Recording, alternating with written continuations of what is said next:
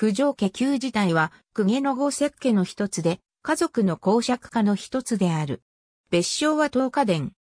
藤原北家着流の藤原忠道の睦夫である、九条金実を外する家で、現在日本全国に散らばる藤原鎌足より続く、藤原一族の男系血統上の宗家にあたる。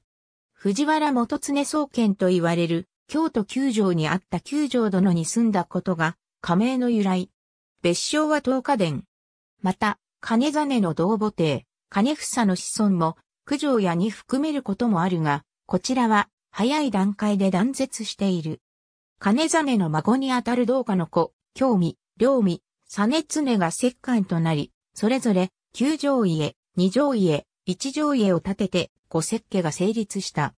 金実は、異母姉である、藤原聖子の高家門飲料を伝領し、九条家領の基礎となった。平氏政権、後白河法皇には、批判的で、源頼朝の推挙で、摂政、ついで関白となり、以後摂関職は、この江流と九条流から出る。金実の孫、道家は、この頼常とその息子頼継が相次いで鎌倉幕府の設計将軍となったことにより、朝廷内で牽制を振るった。なお、九条道教の代で、供述の血脈が絶えるが、二条、道平の子である、教教が九条家を継承した。中世に九条家領は広がり、江戸時代には、家禄2044国を領し、後3052国に数をされ、明治に至った。明治維新後、九条道校が公爵に除せられ、その四女、節子は大正天皇の皇后となった。また、道公の四男、九条義政と、伊尾九条義地は分家してそれぞれ男爵となっている。九条道家は、着男、九条興味に先立たれ、次男、両日は事実上の感動状態にあった。そこで、道家は着村にあたる、供実の子、九条忠家に対して処分状を渡し、当時の公家にとって、最も重要な遺産であった日記などの文書類は一条家への送電とするが、東福寺などの一族寺院の管理権を司る、課長者は、まず最初は三男である実常が継ぎ、その次には、長男の子、九条忠家が継承して、以後は二人の子孫のうちで、最も感触の高い人物が継ぐこと、二人の子孫の断絶あるいは、石棺の地位につけずに子孫が、石家の資格を失った場合には、課長者はその所領を没収できるものとした。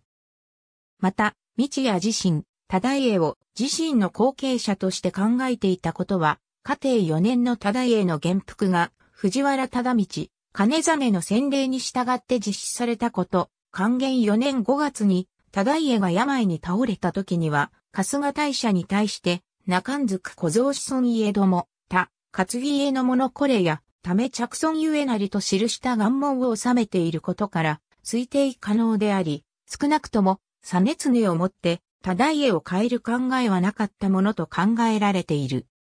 だが、県庁4年に発生した領域による謀反事件に九条家が関わりありとされ、いとこにあたる鎌倉幕府将軍、九条頼次は解任され、忠家も7月20日に、五佐賀上皇の直感を受けて、右大臣を解任。さらに騒動の最中の2月には、祖父、同家も急死したために忠家及びその子孫が石棺を継承することは不可能になったと考えられるようになった。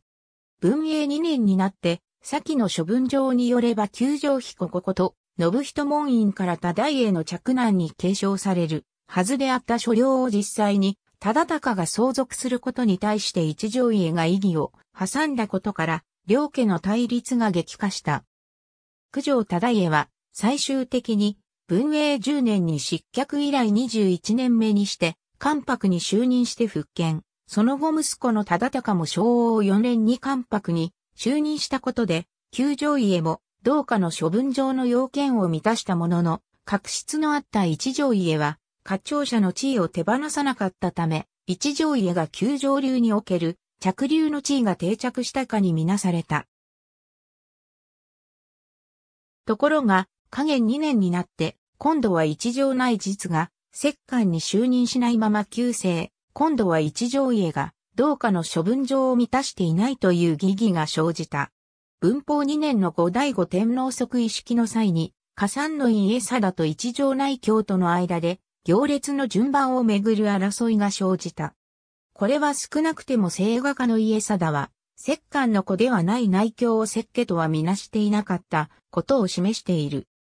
この状態は、翌年の内実の関白就任で解消されたものの、九条家が一条家の課長者独占を不当とみなして、後醍醐天皇に対して、事態の是正を働きかけ、現行4年に天皇は九条家に対して臨時を下し、一門上主が課長者の地位につくべきであるとした。南北朝時代になって北朝の常時4年に一条行通が没すると、一条家に次ぐ勢力であった九条教教は、五皇言天皇に対して共通の息子である防御が不当に課長者を名乗っていると訴えた。当時、長子相続制が一般的になりつつあり、その論理に従えば、同家の長男の子孫の旧条家こそが家督を継ぐべき着流にあたるというのである。これに対して、防御は、九条家の家祖が長子だからといって、その流派の着流であるとは限らない。一条実常が九条同家から家督を譲られたからこそ、九条流石棺家の政治的権威を裏付ける。文書類である東華道文庫が一条家に伝わっているのだと反論し、これに対して九条教教は、佐熱への継承は、九条忠家が幼少であったが、ゆえの措置であり、九条興味が長命であれば、このようなことは起こり得なかった。処分上の宛先が仮にでも、九条忠家になっていること、問題とされた処分上の商本や東福寺の敷地に関しての土地権利書が九条家に伝承されているのは九条家が着流であるから、ゆえではないか？と公弁した。これに対して、五皇言天皇は、九条家から提出された、道や処分上の商本を確認した上で、同年常時4年11月29日に九条家に対して臨時を下し、同家の意思はあくまでも一文上主による課長者の継承であり、その資格を有する九条家と一条家は、着流としての同格であると採決した。鎌倉時代は一条家が九条流の着流であったが、室町中期以降、九条家の地位が上昇し、一条家、九条家が九条流の着流とされた。